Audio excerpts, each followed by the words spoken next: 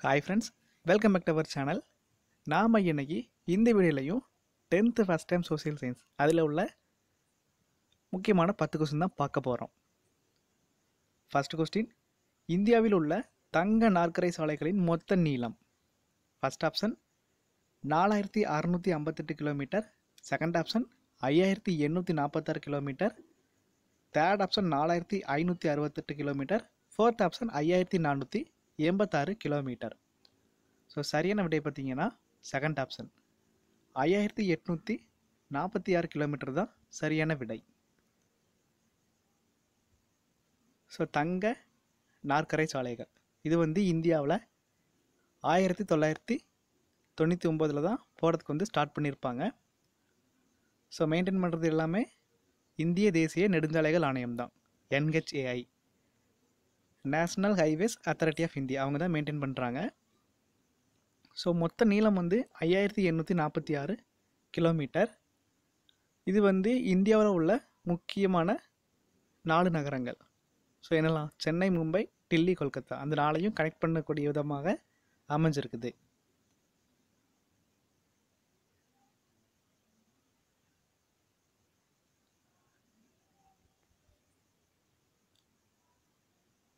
அப்புறம் ரெண்டாவது கொஸ்டின் உலகின் மிக உயரமான எல்லைப்புற சாலையை அமைத்த நிறுவனம். First option central road research institute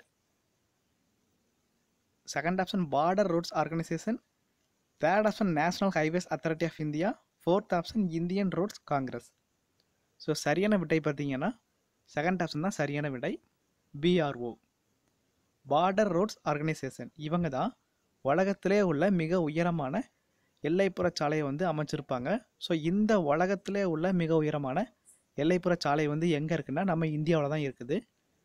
இந்தியாவில் சண்டிகர்லே இருந்து லடாக்கில் உள்ள லே அந்த பகுதி வர உள்ள சாலை தான் உலகத்திலே உள்ள மிக உயரமான எல்லைப்புற சாலை. ஸோ இதை போட்டது யாருன்னா பார்டர் ரோட்ஸ் ஆர்கனைசேஷன் எல்லைப்புற சாலைகள் நிறுவனம். ஸோ போட்டது யாருன்னா எல்லைப்புற சாலைகள் நிறுவனம். இந்தியாவை சேர்ந்த நிறுவனம் தான். இந்தியாவில் தான் இந்த ரோடு வந்து இருக்குது. ஸோ இந்த எல்லைப்புற சாலைகள் நிறுவனம் வந்து ஆயிரத்தி தொள்ளாயிரத்தி அறுபதில் வந்து இந்தியாவில் ஸ்டார்ட் பண்ணியிருப்பாங்க ஸோ இந்த ரோட்டோட ஹைட் வந்து எவ்வளோ பார்த்தீங்கன்னா நாலாயிரத்தி இரநூத்தி எழுபது மீட்டர். எவ்வளோனா நாலாயிரத்தி இரநூத்தி எழுபது மீட்டர். கடல் மட்டத்திலேருந்து நாலாயிரத்தி இரநூத்தி எழுபது மீட்டர் உயரத்தில் தான் இந்த எல்லைப்புற சாலை வந்து இருக்கும். எங்கன்னா சண்டிகார் முதல் லடாக்கில் உள்ள லே பகுதி வர. உலகத்திலே இதுதான் மிக உயரமான எல்லைப்புற சாலை.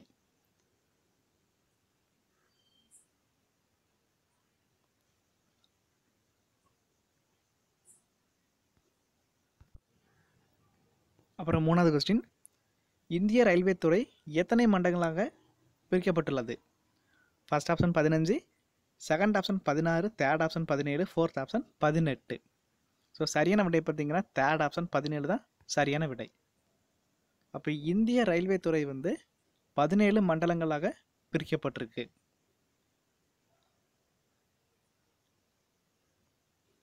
அப்புறம் நாலாவது கொஸ்டின் இந்தியாவின் முதல் ரயில்வே போக்குவரத்து எந்த இரு நகரங்களுக்கிடையே தொடங்கப்பட்டது? ஃபஸ்ட் ஆப்ஷன் மும்பை மற்றும் தானே? செகண்ட் ஆப்ஷன் சென்னை மற்றும் அரக்கோணம்?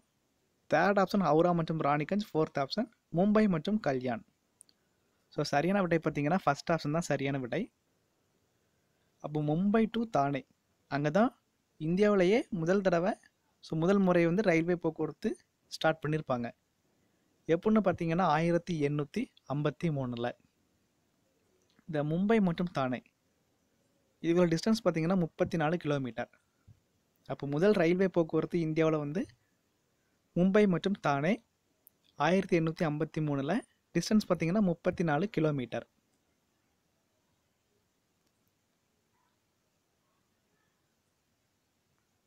அப்புறம் அஞ்சாவது கொஸ்டின் இந்தியாவில் ரயில்வேயானது எப்போது தேசியமயமாக்கப்பட்டது? ஃபஸ்ட் ஆப்ஷன் ஆயிரத்தி தொள்ளாயிரத்தி அறுபத்தொம்போது செகண்ட் ஆப்ஷன் ஆயிரத்தி தொள்ளாயிரத்தி நாற்பத்தி ஒம்பது தேர்ட் ஆப்ஷன் ஆயிரத்தி தொள்ளாயிரத்தி ஐம்பத்தி ரெண்டு ஃபோர்த் ஆப்ஷன் ஆயிரத்தி தொள்ளாயிரத்தி ஐம்பத்தி மூணு. ஸோ சரியான விடை பார்த்தீங்கன்னா தேர்ட் ஆப்ஷன் ஆயிரத்தி தொள்ளாயிரத்தி ஐம்பத்தி ரெண்டு. அப்போ இந்தியாவில் ரயில்வே துறை வந்து எப்போது தேசியமயமாக்கப்பட்டிருக்குன்னா ஆயிரத்தி தொள்ளாயிரத்தி ஐம்பத்தி ரெண்டில். ஸோ அப்போ தான் இந்தியன் ரயில்வேன்னு பேர் வந்து சேஞ்ச் பண்ணியிருப்பாங்க.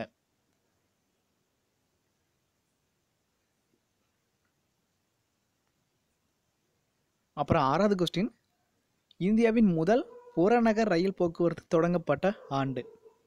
ஃபர்ஸ்ட் ஆப்ஷன் ஆயிரத்தி தொள்ளாயிரத்தி பதினஞ்சு செகண்ட் ஆப்ஷன் ஆயிரத்தி தொள்ளாயிரத்தி இருபத்தஞ்சி தேர்ட் ஆப்ஷன் ஆயிரத்தி தொள்ளாயிரத்தி முப்பத்தி அஞ்சு ஃபோர்த் ஆப்ஷன் ஆயிரத்தி தொள்ளாயிரத்தி நாற்பத்தி அஞ்சு. ஸோ சரியான விடை பார்த்தீங்கன்னா செகண்ட் ஆப்ஷன் ஆயிரத்தி தொள்ளாயிரத்தி இருபத்தி அஞ்சு தான் சரியான விடை. அப்போ ஆயிரத்தி தொள்ளாயிரத்தி இருபத்தி அஞ்சில் தான் இந்தியாவில் முதல் முறையாக புறநகர் ரயில் போக்குவரத்து சேவை வந்து தொடங்கியிருப்பாங்க. எங்கேன்னு பார்த்தீங்கன்னா மும்பையில்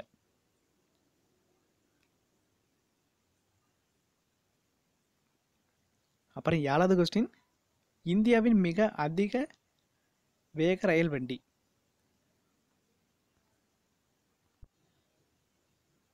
ஸோ கொஸ்டின் கிளியராக பார்த்துக்கோங்க. சின்ன மிஸ்டேக் இருக்குது ஏழாவது கொஸ்டின் இந்தியாவின் மிக அதிவேக ரயில் வண்டி. ஸோ ஆப்ஷன் பார்த்தீங்கன்னா ஃபஸ்ட் ஆப்ஷன் போபால் சதாப்தி அதிவிரைவு வண்டி. செகண்ட் ஆப்ஷன் காத்திமன் அதிவிரைவு வண்டி. தேர்ட் ஆப்ஷன் மும்பை ராஜ்தானி அதிவிரைவு வண்டி ஃபோர்த் ஆப்ஷன் வந்தே பாரத் அதிவிரைவு வண்டி ஸோ சரியான விடை பார்த்தீங்கன்னா செகண்ட் ஆப்ஷன் காத்திமன் அதிவிரைவு வண்டி தான் சரியான விடை. அப்போ இந்தியாவுடைய மிக அதிகமாக வேகத்தில் இயங்கக்கூடிய ரயில் வண்டி வந்து எதுன்னு பார்த்தீங்கன்னா காத்திமன் அதிவிரைவு வண்டி தான். ஸோ இந்தியாவுடைய ஃபாஸ்டஸ்ட் ட்ரெயின் காத்திமன் அதிவிரைவு வண்டி ஸோ இதோட ஸ்பீடு பார்த்தீங்கன்னா நூற்றி அறுபது kilometre per hour so speed பார்த்தீங்கன்னா நூற்றி அறுபது கிலோமீட்டர் பர் ஹவர் மணிக்கு நூற்றி அறுபது கிலோமீட்டர் ஸ்பீடில் வந்து போகும். எந்த வண்டினா காத்திமன் அதிவிரைவு வண்டி. ஸோ எந்த நகரங்களுக்கு இடையில் வந்து பயணிக்குதுன்னா புதுடில்லி முதல் ஆக்ரா வரை. ஸோ டிஸ்டன்ஸ் பார்த்திங்கன்னா இரநூறு கிலோமீட்டர் இருக்கும். இதை வந்து நூற்றி அஞ்சு நிமிஷங்களில் வந்து இந்த ட்ரெயின் வந்து பயணம் செய்து முடிக்கும். ஸோ அதனால தான் இந்தியாவுடைய ஃபாஸ்டஸ்ட் ட்ரெயின்னு சொல்கிறாங்க காத்திமன் அதிவிரைவு வண்டி.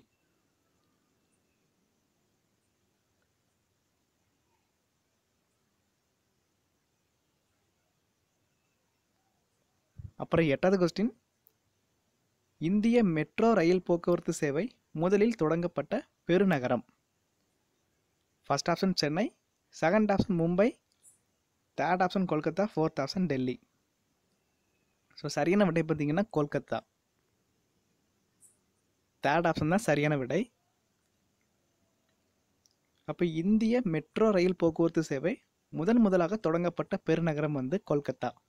மொத்தம் எட்டு பெருநகரங்களில் இந்த மெட்ரோ ரயில் போக்குவரத்து சேவை வந்து இப்போதைக்கு இருக்குது. நம்ம சென்னை பார்த்திங்கன்னா மெட்ரோ ரயில் போக்குவரத்து சேவையை அறிமுகப்படுத்திய ஆறாவது பெருநகரம். ஸோ ஆறாவது வந்து சென்னை ஃபஸ்ட்டு கொல்கத்தா. மொத்தம் எட்டு பெருநகரங்களில் இந்த மெட்ரோ ரயில் போக்குவரத்து சேவை வந்து இப்போதைக்கு இருக்குது.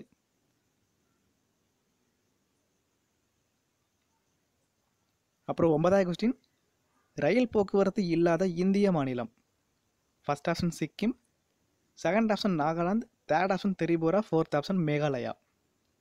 So சரியான விடை பார்த்தீங்கன்னா மேகாலயா ஃபோர்த் ஆப்ஷன் அப்போது ரயில்வே போக்குவரத்து இல்லாத இந்திய மாநிலம் பார்த்தீங்கன்னா அது வந்து மேகாலயா தான்.